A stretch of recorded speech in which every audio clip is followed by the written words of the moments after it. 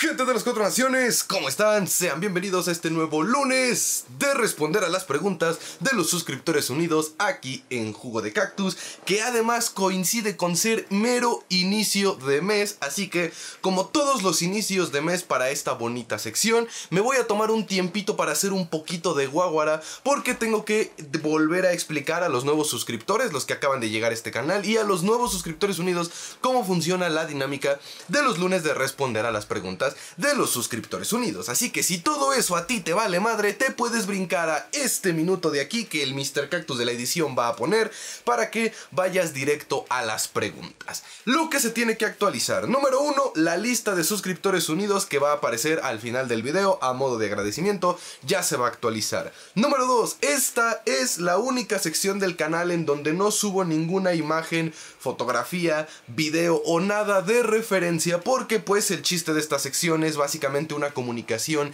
entre los suscriptores unidos y yo. De ahí el por qué no pongo ninguna imagen de referencia. O sea, me tienen que aguantar todo el video en cámara, pero nada más durante esta sección del canal, es decir, nada más los lunes. Y último, todos los suscriptores, absolutamente todas las personas que estén suscritas o no suscritas a este canal, pueden dejar sus preguntas. Sí pero únicamente los suscriptores unidos ganan el beneficio de tener una insignia que hace que yo a la hora de estar leyendo los comentarios pueda reconocerlos y de esa manera contestar todas sus preguntas. Y quienes se vuelven suscriptores unidos pueden dejar un máximo de 5 preguntas a la semana que son respondidas en esta sección del canal.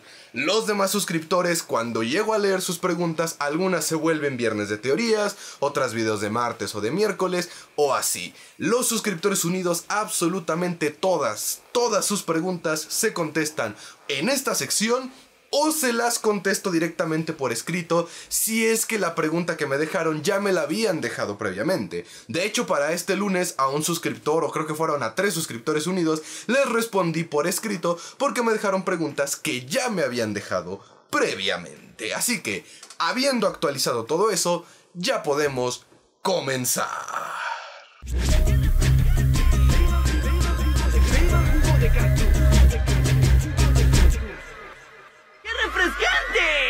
Como bien lo saben, empezamos con los suscriptores unidos de Patreon. Eilen Crustelles nos pregunta, ¿cuál es tu opinión sobre la filtración del nuevo avatar en Zona Avatar que publicaron que sería mujer y de Basing C y todas estas madres?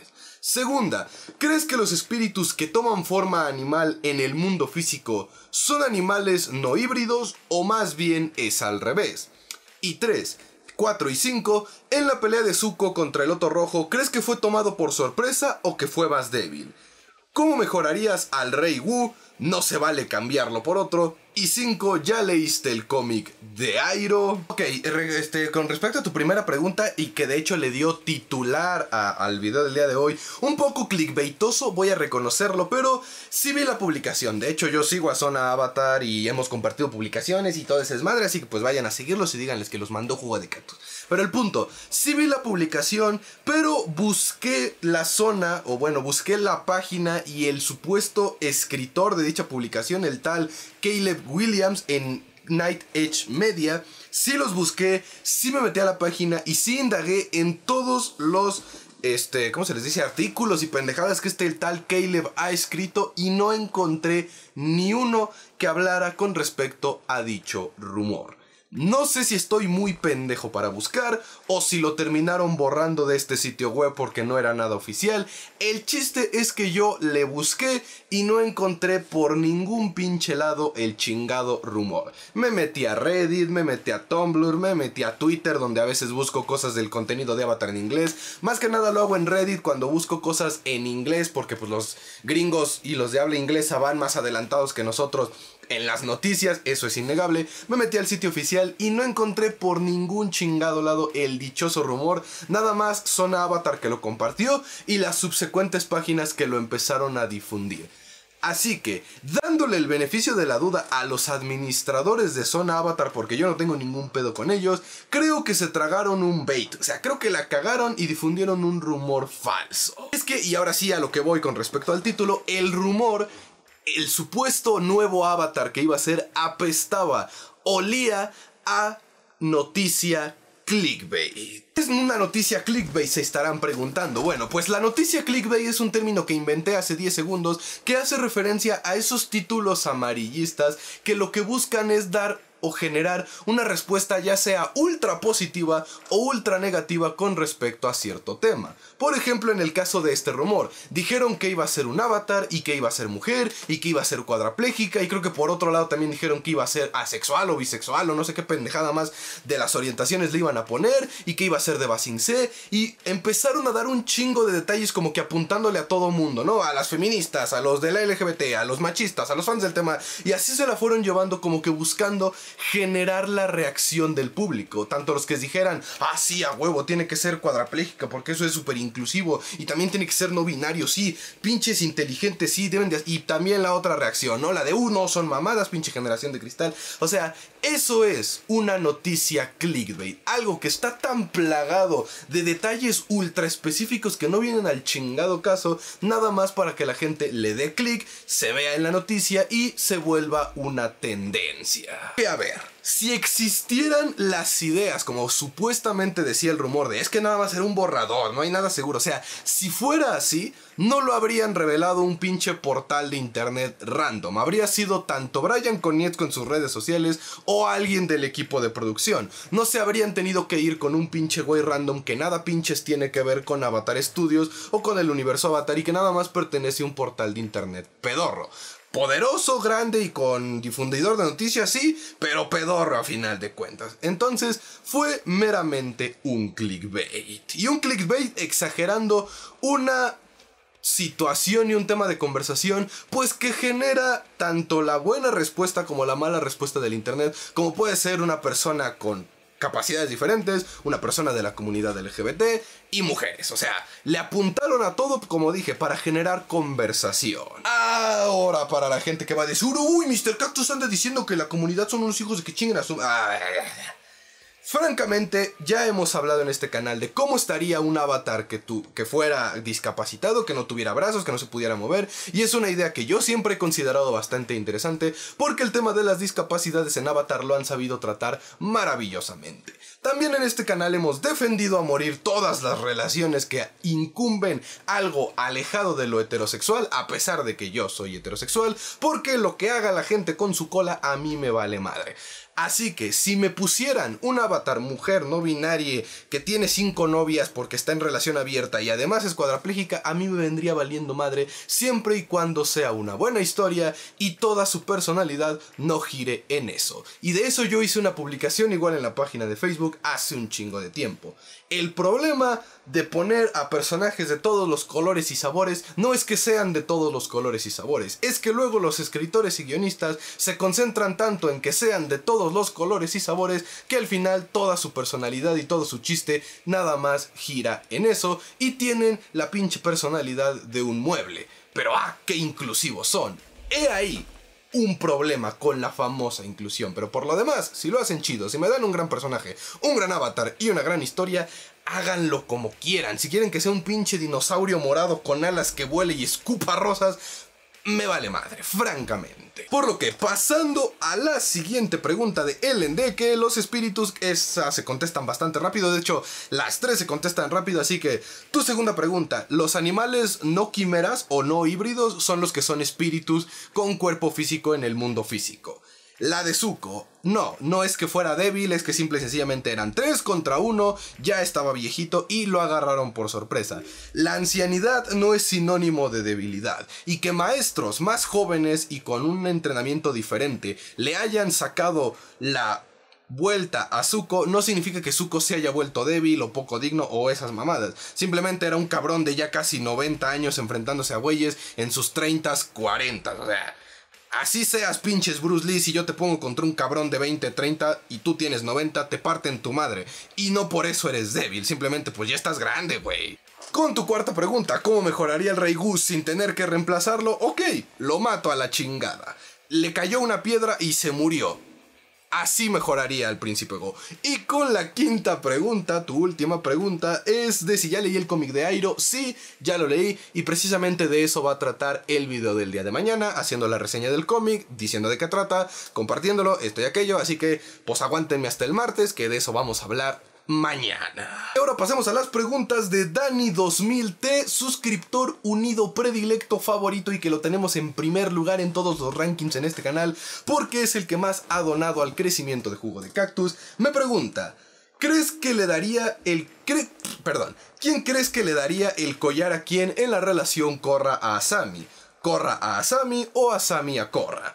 Y la segunda es, ¿qué crees que hubiera hecho Ang si Katara no hubiera querido o podido tener hijos. Ok, personalmente yo siento que tiene que ser Korra a Asami lo del collar, porque Korra es quien es de la tribu agua. O sea, es como si yo, por ejemplo, me fuera a casar con una persona perteneciente a alguna etnia específica, no sé, alguien de, alguien de, por ejemplo, de los nativos americanos o alguien que venga de algún pueblo de allá de Indonesia, de África, de por ahí. O sea, alguien con otra cultura y un contexto completamente distinto y yo me pusiera en plan de, ah, pues yo le voy a dar algo. O sea, me vería como intentando hacer un cosplay, como apropiación cultural y no se vería bien. En cambio, si esa dicha persona me introduciera a su cultura y me dijera, no, pues tú puedes hacer esto y en mi cultura le hacemos así, entonces no habría pedo. Así que en ese sentido yo digo que sería corra a Asami, porque Korra es la que es de la tribu agua, del, agua. O sea, independientemente si es del sur o de, la, de, las tribus agua. Ahora, con tu segunda pregunta, probablemente querías que me fuera del lado de, ah, pues se habría conseguido un chingo de novias y consortes y el Ang se habría vuelto el maestro sexo de...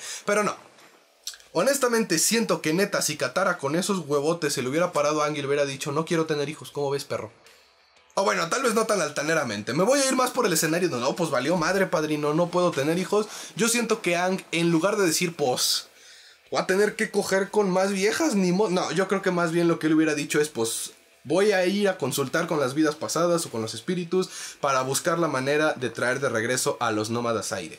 Tú no te apures. O sea, porque neta, neta, no es como que decir que Ang solamente tuvo hijos para tener más maestros aire, pero pues no nos hagamos güeyes, ese fue el porqué principal. Entonces, si se le quitaba el porqué principal de quiero tener más maestros aire. Y nada más le quedaba el de, ay, qué bonito sería tener una sola familia. No es como que Ang iba a decir, ah, pues tengo hijos con alguien más. Así que se iba a quedar con Katara porque él ama a Katara. Y para satisfacerlo de necesito atraer a los maestros aire de regreso, podía buscar información con los espíritus o con las vidas pasadas y tarde o temprano se iba a encontrar con el conocimiento que a Korra le salió prácticamente de chiripa, de con una gran fuente de energía espiritual que rodea el mundo, puedes activar el gen dormido de los maestros y posiblemente traer de regreso a la nación del aire, que fue finalmente lo que Korra hizo, así que eso es lo que yo siento haría.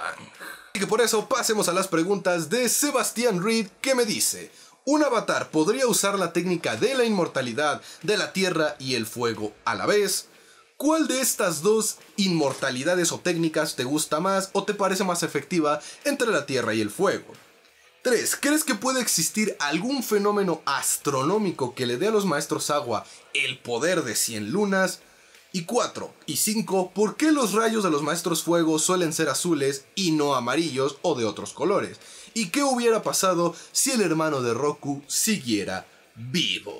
Ok, como tus dos preguntas van, tus dos primeras preguntas van ligadas a lo de la técnica de inmortalidad, si un avatar usara fuego y tierra para eh, la, técnica de la inmortalidad, pues no es como que diría, ah, me voy a hacer inmortal al cuadrado. Simplemente se le facilitaría más el estar agarrando energía cósmica de los campos de chi, de toda esa madre que ya hemos hablado, y nada más le resultaría más sencillo, porque es como en lugar de estar con un cilindro en tu motor, tendría dos cilindros, entonces iría más rapidito.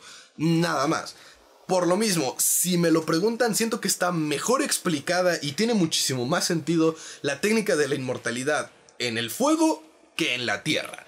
Pero a lo de la Tierra le doy el beneficio de la duda porque nada más lo hemos visto una vez, o bueno, nos lo han explicado una vez y con la cola, o sea, porque el auge lo explica mal, o sea, lo explica así como de, ah, pues así se hace, güey, o sea, neta, esa conversación del libro entre Kiyoshi y Lauge de cómo es lo de la inmortalidad, casi casi el güey le dice, pues sucedió, güey, entonces, así que tú digan, uy, la explicación que nos dan, pues no, entonces, por cómo funciona el fuego y, por cómo interactúa con el tema de la energía y el chi, su chingada madre en el universo Avatar, sí, me gusta más la inmortalidad con fuego que la de tierra. 3. No creo.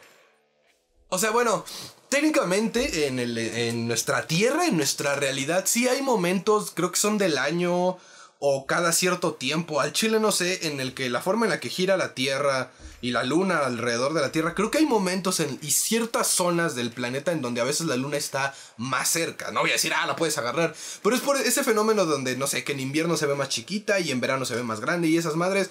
Creo que más o menos ahí. Tal vez no sería un fenómeno astronómico como tal, más bien sería por temporadas. Creo que esa sería la única manera en la que los maestros agua podrían tener su agua control más potenciado. Pero pues técnicamente los maestros agua se potencian todas las noches de luna llena, así que que tuvieran además de eso otro potenciador se me haría ya algo exagerado. Son por la que el rayo control de los maestros fuego es diferente a los relámpagos y rayos de la naturaleza es porque tienen menos poder. Un maestro fuego puede tener mucha experiencia, puede ser el más poderoso, estar super mamado, cagar bombones y lo que tú quieras, pero nunca va a poder igualar el poder de la naturaleza.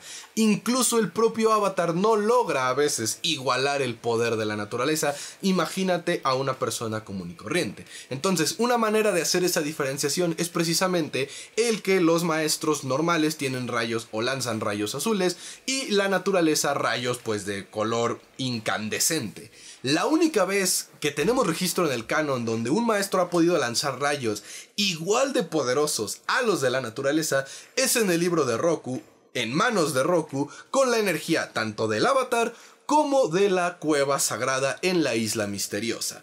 Y nada más, pero fuera de ahí ningún maestro puede igualar la fuerza de la naturaleza y por eso la diferencia de color en los rayos. Y con tu última pregunta, la de qué hubiera pasado si el hermano de Roku seguiría vivo, te juro que desde que guardé las preguntas, desde que hice las capturas de pantalla, estuve pensando y pensando en escenarios, en teorías, a tratar de hacer algo interesante, pero francamente no se me ocurrió ni una sola cosa que fuera interesante de el hermano de Roku vivo.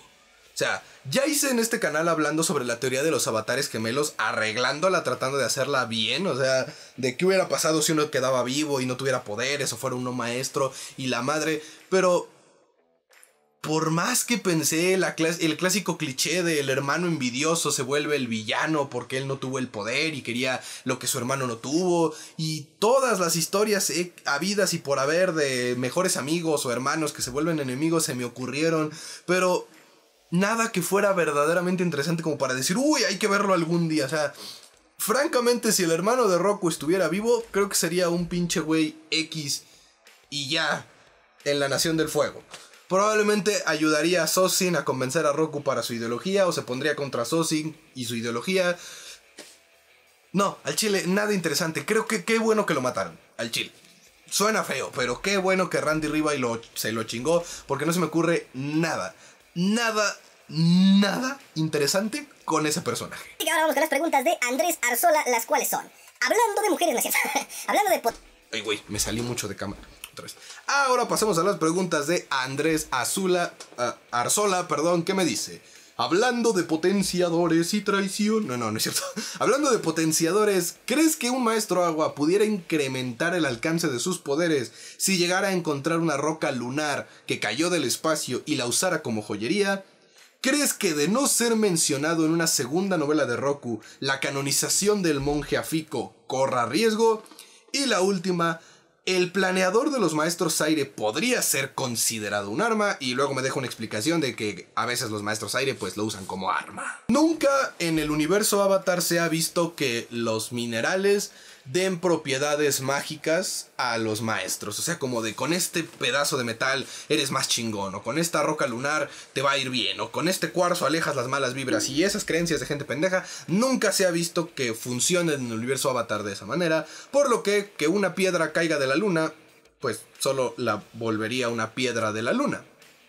Y ya. Y para los que me van a sacar la carta de, hey, pero los maestros agua encuentran a los avatares con un cristal mágico, pito, encuentran al avatar utilizando un cristal llenado con el agua del oasis de los espíritus que les ayuda nada más a poder localizar la energía espiritual del avatar dentro de los recién nacidos. Pero eso es más pedo del agua espiritual y además el oasis de los espíritus es un pinche pasaje al mundo espiritual. No hay una sola chingadera, joyería, cuarzo, piedra, elefante con la trompa para arriba o esas mamadas en el universo Avatar que le dé poderes a los maestros. Por ende, si una roca cae del espacio, lo único que es es una pinche roca. Como lo vimos en el episodio del meteorito en la leyenda de Ang. Cayó el meteorito y Ang no se volvió más poderoso o se comunicó con los aliens o pendejadas así. No, literalmente era mineral que cayó del espacio, que dio la casualidad era metálico y lo convirtieron en espada.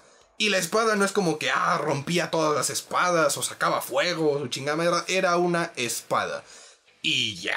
La verdad es que no temo por la canonización de Afiko, porque Afiko no tiene nada que ver con la historia de Roku. O sea, tiene que ver con el pedo del genocidio, Sí, pero no tiene pinches nada que ver con la historia de Roku. De hecho, si contamos las fechas, Afiko no empieza a tener protagonismo en la gran historia de Avatar, sino hasta después de la muerte de Roku, cuando Sosin está empezando sus planes para capturar o matar al Avatar y para primero dar con el Avatar. Y no es sino hasta ese momento en el que Afiko aparece otra vez luego de ser expulsado del Templo Aire del Sur y del Consejo de Sabios para hablar con Sosin y pasarle la información y la ubicación de las entradas secretas a los templos. Así que mientras Roku esté vivo y ya no esté en el templo aire del sur, que es de donde era Fiko, no importa para nada si aparece o no en las novelas de Roku. Afiko pertenece a ese lapso de tiempo entre la muerte de Roku y el descongelamiento de Ang. Esos 100 años perdidos es donde Afiko entra en la historia, pero en la vida de Roku, antes o durante, no nos importa ese güey.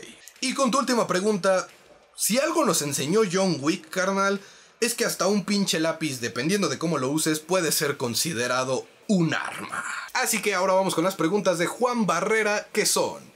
¿Qué crees que hubiera pasado si la Nación del Fuego hubiese prohibido que el avatar Roku se fuera a las otras naciones a aprender de los elementos? La tercera, la segunda, ¿crees que las otras naciones enviaron espías a los maestros que entrenarían al avatar? 4. ¿Crees que Sosin aprovecharía para ver la mayor cantidad de técnicas de los otros elementos y cómo contrarrestarlas?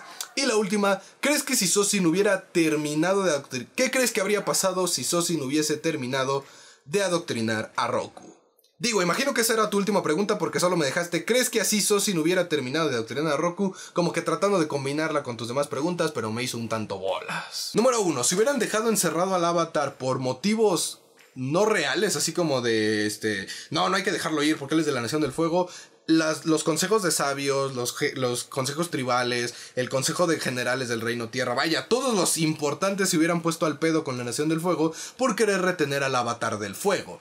Un historial que ya estaba bastante mal en la Nación del Fuego con sus avatares en el pasado. Y algo que te dejan entrever en el libro de Roku es que la Nación del Fuego sí quería usar a Roku como le hicieron con Zeto, pero al mismo tiempo no querían que otra vez las cuatro naciones creyeran que esos güeyes querían acaparar al avatar. Entonces, de haberle prohibido viajar al mundo, habrían provocado un caos en las cuatro naciones que incluso pudo haber desencadenado en una guerra que habría tomado a la Nación del Fuego por sorpresa y no habrían estado preparados para dar la batalla.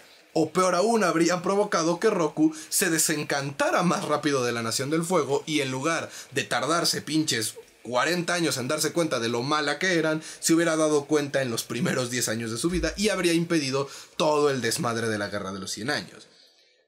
Curioso efecto dominó, si me lo preguntan. Del mismo modo con la pregunta de los espías, sí, de hecho en los libros de Kiyoshi y en los libros de Yang Chen dejan muy claro que todo lo que el avatar hace es vigilado de cierta manera, ya sea por los intereses de los gobernantes de las naciones o incluso por el propio Loto Blanco. Así que ten por seguro que Roku tenía espías viendo su entrenamiento por todos lados o que incluso alguno de sus maestros que lo entrenaban eran miembros de organizaciones secretas del gobierno o inclusive del propio Loto Blanco.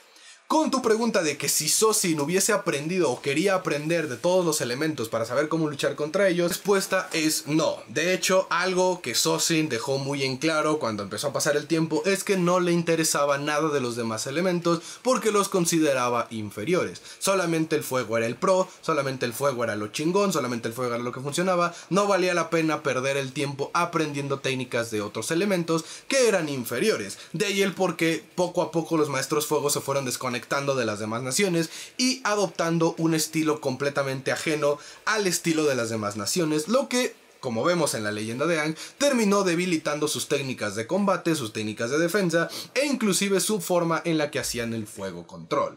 Todo porque Sosin consideraba que lo demás, que no era de la Nación del Fuego, estaba mal, estaba mal hecho o era débil. Que Roku no es el más listo del condado, con tu última pregunta, no, siento que Sosin nunca hubiese podido adoctrinarlo.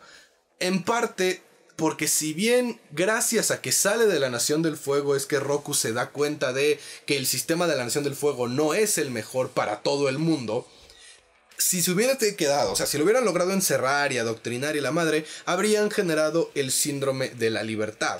Y es el mismo síndrome que le ocurre a Korra. Korra pasó toda su infancia, todo su entrenamiento como avatar en la tribu Agua del Sur y no conocía nada más.